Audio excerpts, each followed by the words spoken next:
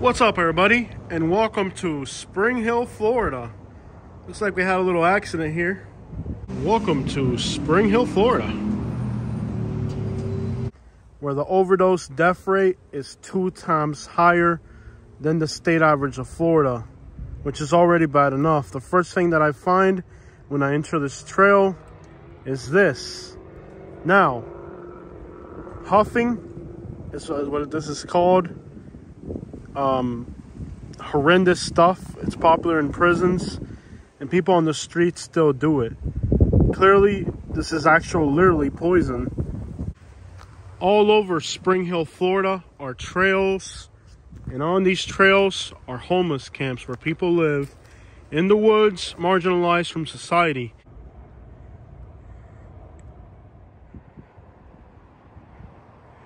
on the intersection of Highway 50 and US 19 in Spring Hill, Florida.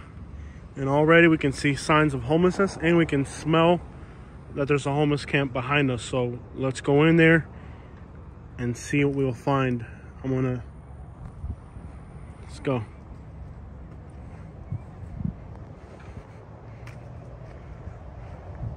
This is the first camp that we run into here. Looks like there's nobody here at the moment but you can see um, pretty much just a nice little camp here. This particular camp actually looks pretty clean, very orderly. Um, doesn't look bad at all. It looks like they have garbage bags and they are taking their garbage with them somewhere else. We're not going to go into the actual area that they're dwelling in. We're just going to stay on the outskirts.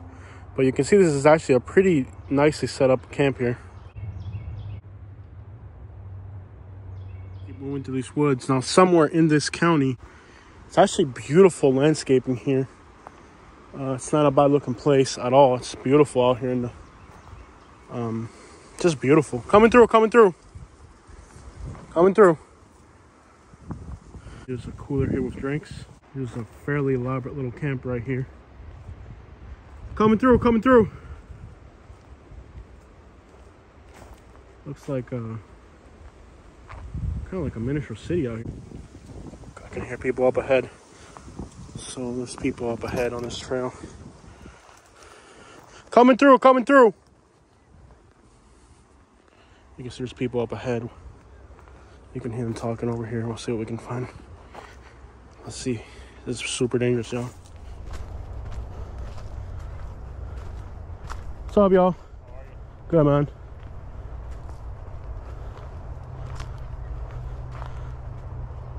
Does this trail lead anything anywhere back there or no? No. It's just dead end? Dead ends right here. All right, y'all. Y'all have a good day, man. All right.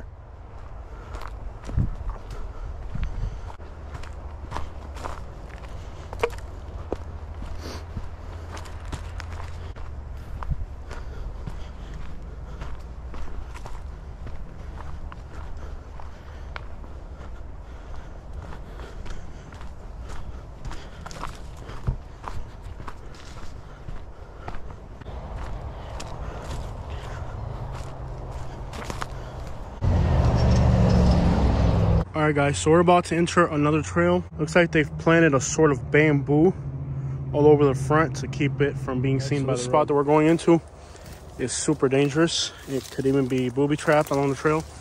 You can see how they've planted this sort of uh, it's sort of like a bamboo to keep uh, the visibility low from the entrance and to ensure that the trail is kind of hidden so. There's a den here for a protected gopher tortoise. All right guys so there's a shoe here that means that there's somebody inside this trail. That is a universal code for people ahead. This could quite possibly be a makeshift bathroom. Makeshift bathroom. But I'm walking through here and so far I've seen very little. This is definitely a pretty good walk. All right, guys, so here's a telltale sign that we have a homeless camp here you can see people have been burning their garbage. So they are trying to keep the garbage to a minimal at this camp by burning it. Now, a lot of artifacts here are endemic to homeless camps. Suitcases, signs that people at some point had a home, had a place to live, and things just went the wrong way.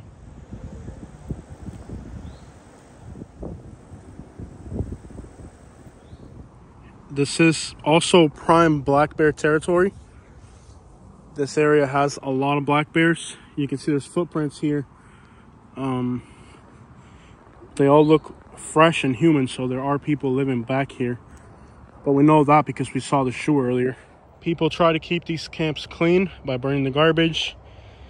And it's a never-ending task for the people that live here. One of the most surprising things about this particular homeless camp is the amount of suitcases that are here which would suggest new arrivals. This is an odd thing because I haven't seen it in other homeless camps. I mean, occasionally you see a suitcase here or there, but the amount of suitcases here is just kind of gives you an indication.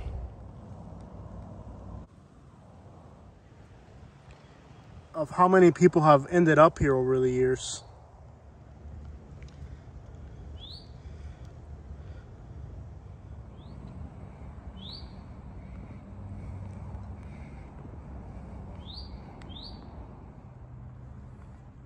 I don't know why there's always so many kids' toys in these homeless camps, but I have a theory that these were possibly sentimental artifacts to people that they just kept with them when they threw everything in a suitcase and left. I'm not really sure, but I do find it disturbing that at all these homeless camps you find so many artifacts like this. It's it's really crazy.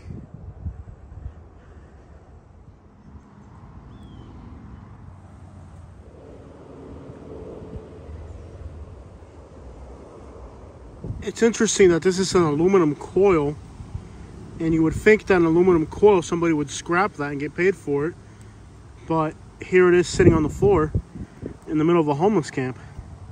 And that is because the state of Florida actually made it illegal to sell these coils at scrap yards because homeless people were breaking into houses and stealing them.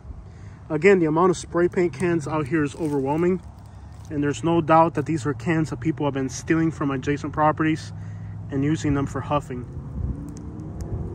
This camp here is perhaps long abandoned. And these palm trees are the reason there's so many black bears here because they eat the berries off them. I think so far what makes this homeless camp so interesting is just the odd conglomeration of strange items that are out here.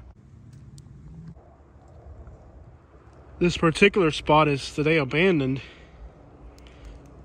and the reason these are like islands is because if you look around us, you can tell that in the summer this would flood and leave this camp as an island in the middle.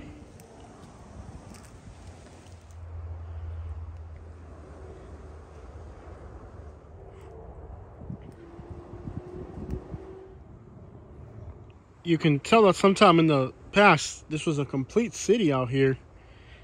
But today, just strange artifacts that have survived time are left.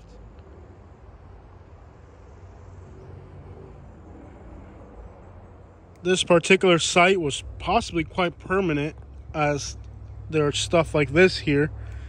This looks like somebody uh, cut up maybe a washing machine to turn it into a tank to cook or grill or make bonfires at night. So while this site is abandoned today, it definitely is an interesting site.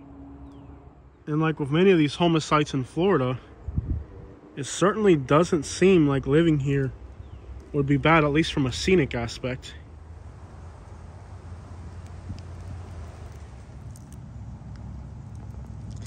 A lot of aluminum and copper and brass out here. You'd think they would scrap that stuff and get some money for it. You can see where at some point the flames reach the trees perhaps almost causing a fire here.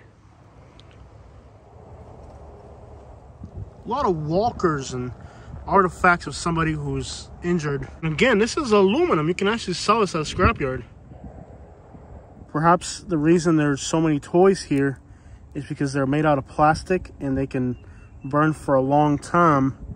And perhaps that helps with bonfires. Poor semi-truck. It's seen better days. Well, if I'm not mistaken, this is actually silver. This is actually 925 silver. Crazy. This little guy had his face burned off. It's some type of kid's toy. This one over here too. They're robbing all these uh, liquor stores.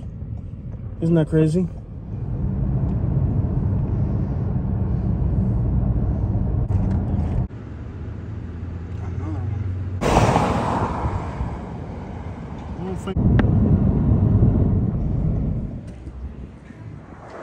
The famous pink dinosaur of Spring Hill, Florida. Built in 1959. There's a local artist who built these things. There's this one here. And there's several more, actually. I've seen one of these in a property deep in the woods around Brooksville, Florida. Find yourself in rural Brooksville, Florida, you'll run into an unfinished dinosaur in front of a property off a country road. Again, I can't remember the exact spot because it's been so many years since I've seen it. But somewhere around here, there's another one of these things that's unfinished. Florida's a weird place. That dinosaur down there. Car in a ditch over here.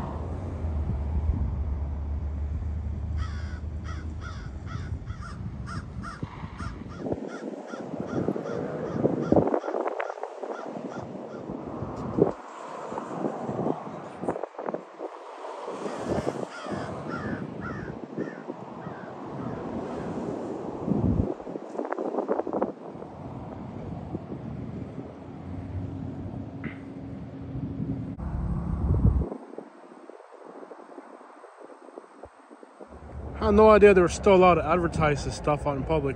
So allegedly this is just a car in a ditch, but I'm gonna guess by the amount of uh, investigative work going in that there might be a there might be more to this story than just a car in a ditch. You'll see a lot of these bicycle trailers here in this area. A lot of the people that are homeless just move around from place to place, so they'll ride a setup like this. West 19 used to be a thriving little highway, busy in its day. But today, sad area.